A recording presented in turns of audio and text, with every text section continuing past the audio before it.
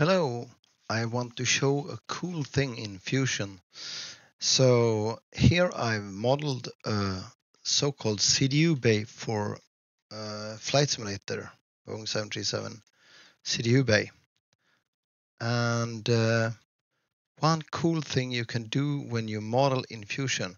So I have this hatch here and you can see the mounting holes for for the uh, two of the mount. I will have more mounting holes in this hatch, but anyway, it has two mounting holes in the support frame. So this is the back side and it's support frame.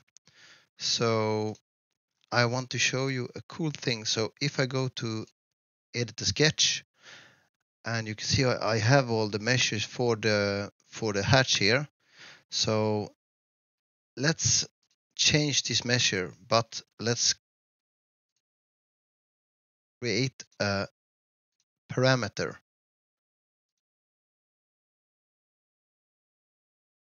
Hatch, hatch height. Let's call it hatch height. And at the moment we have 120 millimeters. So I will do that. And I will push that and select hatch height. So nothing will change. Finish sketch. And I have projected these holes to this, this uh, surface. So if the hatch changes, they are projected to this edge and the distance from this to this edge. So let's change the height. Modify parameters and let's go for hatch height and set 140.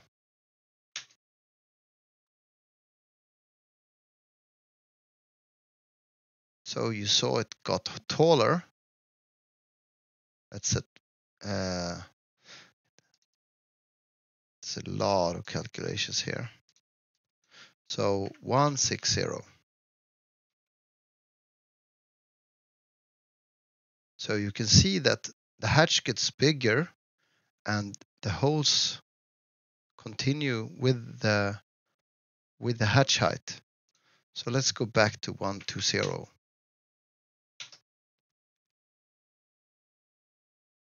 Look at that. Isn't that amazing?